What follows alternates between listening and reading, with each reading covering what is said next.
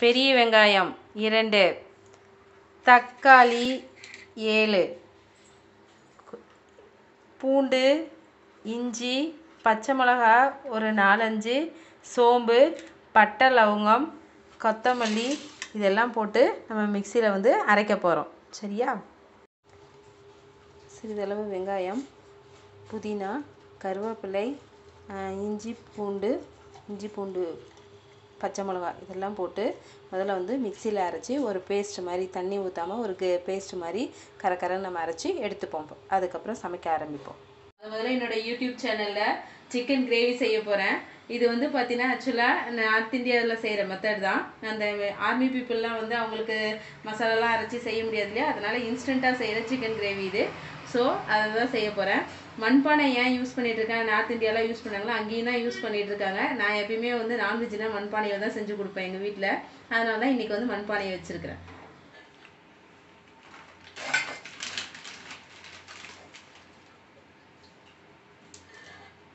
எண்ணெய் ஒன்றரை கரண்டி.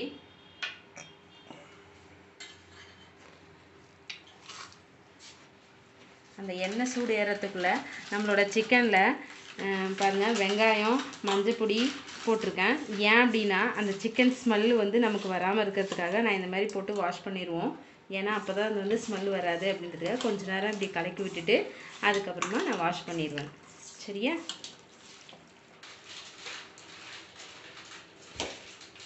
எண்ணெய் சூடு ஏறிடுச்சு. அதில் கருவேப்பிலை புதினா ரெண்டையும் போடுறேன்.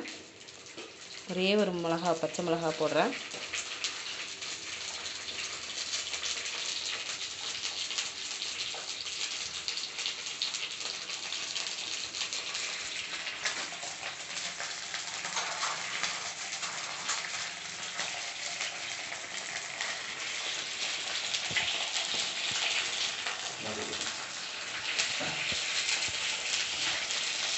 இது கொஞ்சம் வதங்கட்டும்.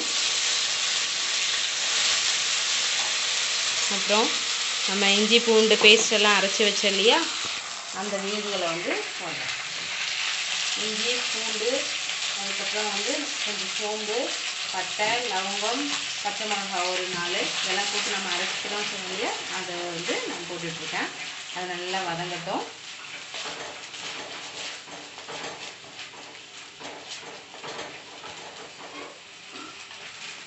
மஞ்சப்பொடி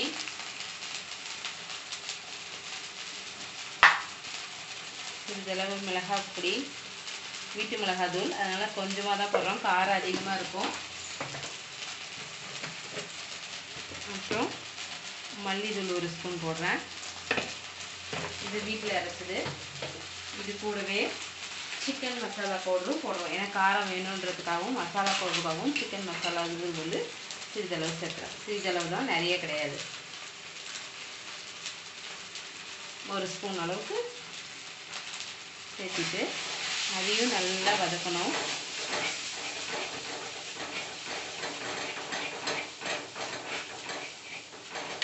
இது கூட கல்லுப்பு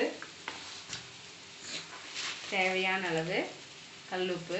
என்னோட இதில் ஒரு ஒன்- ஒரு ஒன்றே கால் ஸ்பூன் போடுறேன்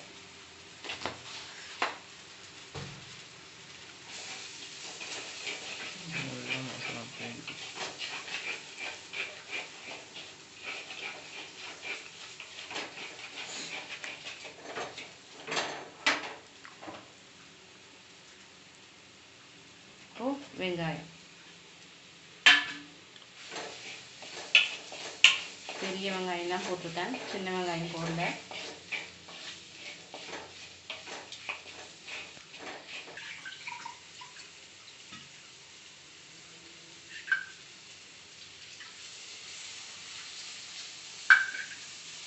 இப்போ இது தண்ணி கொதிக்கிறதுக்காக நம்ம என்ன பண்ண போகிறோம் கொஞ்சம் வந்து தேவையான அளவு தண்ணீர் ஊற்ற போகிறோம் தேவைன்னா ஒரு ஒரு டம்ளர் அளவு தண்ணி ஊற்றினா போதும். அது நல்லா கொதிக்கும். இது மசாலா ஃபஸ்ட்டு வேகணும். அந்த அதுக்கப்புறம் தான் நம்ம வந்து தக்காளி போட முடியும் அதில். பாருங்க மசாலா வந்து நல்லா கொதிச்சு வந்துருச்சு. ஓரளவுக்கு வந்து அந்த வாசனைலாம் போயிடுச்சு. இந்த மசாலா வாசனை ஃபுல்லாக போயிடுச்சு. இப்போ நான் என்ன பண்ண போகிறேன்னா அந்த எட்டு தக்காளி கட் பண்ணி வச்சேன் இல்லைங்களா? அதை வந்து சேர்த்த போகிறேன் இதுவும் பெரிய பெரிய தக்காளி இல்லைங்க. சின்ன சின்ன தக்காளி தான் யூஸ் பண்ணியிருக்கிறேன். கொஞ்சம் நாட்டு தக்காளியாக இருக்குமேன்னு சொல்லிட்டு அதை தேடி தேடி பண்ணியிருக்கிறேன். அதனால் இது நல்லா வதங்கி இந்த தக்காளியும் இந்த கிரேவி மாதிரி தண்ணியாக வந்த பின்னாடி தான் நான் சிக்கன் போட போகிறேன் சரியா?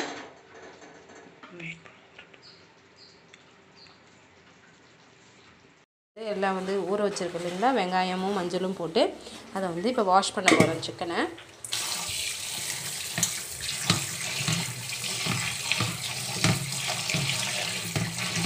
அதாங்க ஒன்றும் பண்ணலை. ஜஸ்ட்டு வாஷ் தான் பண்ணுறேன்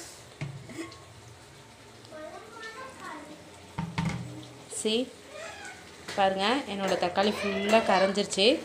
மசாலா ரெடி ஆகிடுச்சு அந்த கிரேவி ரெடி ஆயிடுச்சு. இப்போ சிக்கனை வந்து போட்டுடலாம்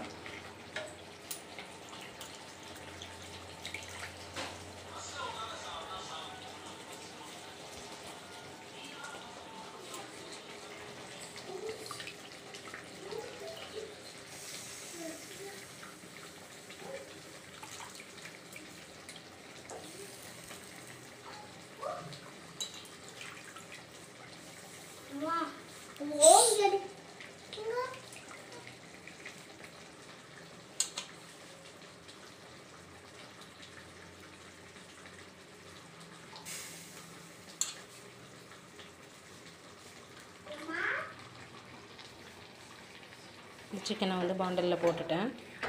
பாருங்கள் அந்த வெங்காயமும் அந்த ஆனியனையும் சேர்த்திருக்கிறேன். எல்லாத்தையும் சேர்த்தி நல்லா கலக்கி விட்டுட்டு தண்ணி ஊற்றாமல் முதல்ல வந்து அதை கொஞ்சம் நேரம் அந்த மசாலா நல்லா கொதிக்க விடலாம். ஏன்னா ஆல்ரெடி சிக்கன்லேயே வந்து நமக்கு வாட்டர் கண்டென்ட் இருக்கிறதுனால கண்டிப்பாக அதில் வந்து தண்ணி வெளியே வரும். எவ்வளோ ரிலீஸ் ஆகுதுன்னு பார்த்துட்டு அதுக்கப்புறம் நமக்கு தேவையான வாட்டரை ஆட் பண்ணிக்கிட்டால் போதும். ஏன்னா நம்ம செய்ய போகிறது கிரேவி மாதிரி தான். அதனால் வந்து நான் வாட்டரை வந்து அதிகமாக ஆட் பண்ணல. இந்த கிரேவிலேயே தான் இந்த தக்காளி இந்த வெங்காயம் அந்த கிரேவிலேயே தான் இது வேக போகுது. வெயிட் பண்ணலாம். பாருங்கள் எல்லாமே நல்லா போட்டு வெங்காயம் எல்லாமே கலக்கி விட்டுட்டேன்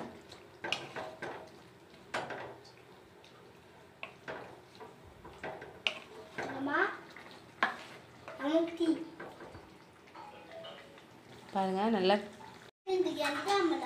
சிக்கன் குழம்பு வந்து செய்ய போகிறோம் பாருங்கள் நல்லா கலக்கி விட்டுட்டேன். நான் எந்த வாட்டருமே ஆட் பண்ணல. இப்போ வந்து மூடி வைக்கலாம். ஒரு ஃபைவ் மினிட்ஸ் கழித்து பார்க்கலாம். எவ்வளோ வாட்டர் வந்து ரிலீஸ் ஆகுதுன்னு. அதுக்கப்புறம் வாட்டர் வேணும் அப்படின்னா நம்ம வந்து திருப்பி எடுத்துக்கலாம். பாருங்கள் ஃபைவ் மினிட்ஸ் கழித்து ஓப்பன் பண்ணி பார்த்தா அதில் ஆட்டோமேட்டிக்காகவே தண்ணி வந்து வெளியே வர ஆரம்பிச்சிருச்சு. நல்லா கலக்கி விட்டுக்கலாம். ஏன்னா அடி பிடிச்சிரும் இல்லைங்களா? தண்ணி இல்லாமல் இருக்கிறதுனால. அதனால் நல்லா வந்து கலக்கி விட்டுட்டு இன்னும் கொஞ்சமாக வாட்டர் ஆட் பண்ணி கொஞ்சம் பாயில் ஆகிறதுக்காக வாட்டர் வந்து ஆட் பண்ண போகிறேன்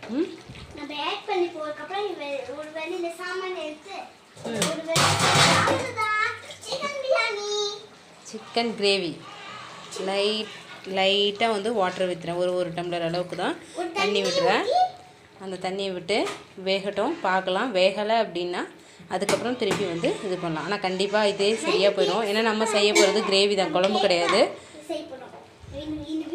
இது சப்பாத்திக்கு இது வந்து சப்பாத்திக்கு ரொம்ப சூப்பராக இருக்கும். சாதத்துக்கும் நல்லாயிருக்கும் ஒரு சீக்கிரமாக செய்கிற இது. நம்ம மிக்ஸி எல்லாம் தேடவே தேவையில்ல. இஞ்சி பூண்டு எல்லாம் கூட பார்த்திங்கன்னா நீங்கள் குட்டி உரல் வச்சே நசுக்கிக்கலாம். அதுலேயே நம்ம வந்து செஞ்சிடலாம் இதுக்காக மசாலா ரெடி பண்ணி பண்ணணும்னு அவசியம் கிடையாது. ஃபாஸ்ட்டாக செய்கிறதுக்கு இது ஒரு ஷார்ட் வே